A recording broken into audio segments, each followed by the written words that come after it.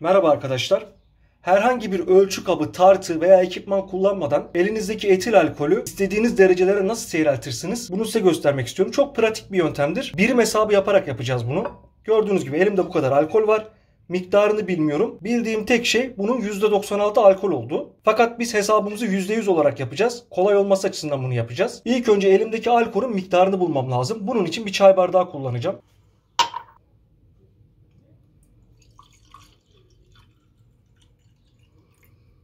Gördüğünüz gibi bir çay bardağını tam olarak doldurmadı. Bu civarlarda yani yarım çay bardağı var. Burada birim hesabı yapmamız gerekiyor. Ben bunu sürekli ayarlayamayacağım için buraya bir tane çizgi katacağım. Şu an ölçümüz belli. Ben %10'luk bir karışım yapmak istiyorum. Bu yüzden de bir birim alkolün üzerine 9 bardak su ekleyeceğim. Bu vişne de olabilir, herhangi bir şey de olabilir. Neyle istiyorsanız o şekilde yapın. Ben sadece suyla seyrelteceğim için su katıyorum. Bir birim saf alkole 9 birim su eklediğimizde elimizde %10'luk bir karışım olur. Eğer ben bu karışıma 3 bardak ekleseydim %25 olacaktı. 4 bardak ekleseydim %20 olacaktı. Veya siz %5 yapmak isteyebilirsiniz. Bu durumda bir birim alkole 19 birim su katmanız gerekiyor. Ama bardak olarak değil. Burada şunu dikkat edin. Burada bir ölçü birimi aldık kendimize. Elimizdeki alkolü şişeye alıyoruz. İşaretlediğimiz ölçüde 9 bardak su ekliyoruz.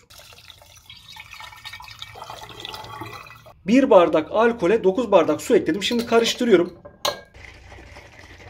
Gördüğünüz gibi herhangi bir ekipman, ölçü kabı kullanmadan miktarını bilmediğimiz bir alkolü istediğimiz alkol derecesine seyrelttik. Videoya like atmayı ve kanalımdaki podcast içeriklerine bakmayı unutmayın. Görüşmek üzere.